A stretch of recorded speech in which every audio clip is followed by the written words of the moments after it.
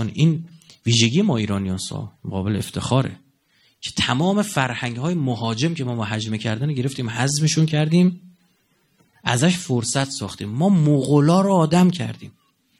این خودش یعنی یه پیغمبر این کارو می... یه نفر این کارو می‌کرد پیغمبر که من بهش ایمان میوردم یارو اومده رصدخونه ساخته.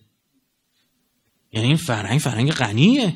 ما حفظ باید بکنیم هویتمون رو اون فرهنگ جدید اومد. این چیز خوبی داری. بسم الله. این چیزات بعد خودش اومدی برو بکارت فرهنگ ای در بین اعراف فرهنگ درستی نبود و نیست.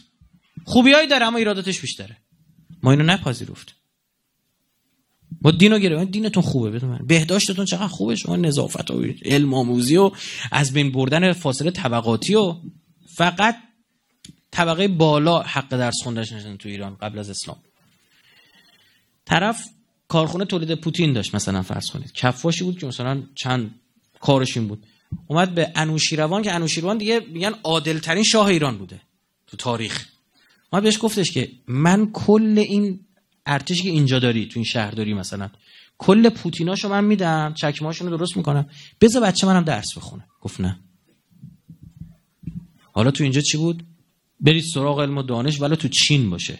یعنی تو چین مینن چی؟ ولو به چین یعنی اگه کره مریخه. یعنی جایی که اسمشو شنیده بودن و هیچ کس از اعراب نرفته بود. ولو به من المهد الله. از تو گهواره. بعد بعد از اومدن اسلام ابو علی سینا میان خارزمی میان ابو ریان بیرون داره میمیره داره جون میده تو حالت اعتذار اومدن بالا سرش. میگه جواب این مسئله علمی چی میشه؟ میگه بابا داره میمیره میگه بمیرم و بدونم بهتر از اینکه نادان نادان بمیرم. چند تا دانشمند قبل از اسلام می‌شناسی که تاثیر جهانی داشت ببین یونانیا دارن میگه ما من افلاطون دارم. ارشمی دوست دارم اغلی دوست دارم. چهار تا رو کن دو چهار تا نه دو تا بگو. یه دونه بگو. نمی‌تونی بگی. چون وجود نداشت. الان من دم اخیرا آمده اسمای میگن. اسمه چیکار کرده بودین؟ هیچ.